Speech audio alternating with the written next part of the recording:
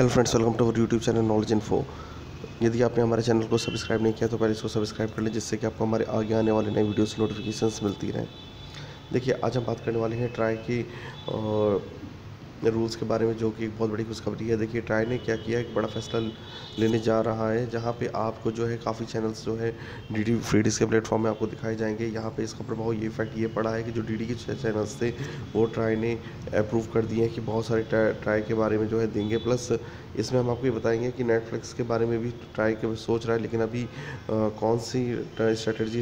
Netflix के लिए try लगाएगा, वो अभी उस पर बात चल रही है। साथ साथ जो है डी डी फ्रीडिस में जो है ट्राई ने अपने जो बहुत सारे रूल्स लगाए थे, जिसके कारण जो है बहुत सारे चैनल्स चले गए थे और तो उसके लिए बात चल रही है कि हमारे जो डी डी फ्रीडिस के M P G fourth slot में काफ़ी एस टी चैनल्स को जो है भरा जाएगा, यानी कि हाई डेफिनेशन चैनल्स को जो है भरा जाएगा और ग्राहकों को जो है बहुत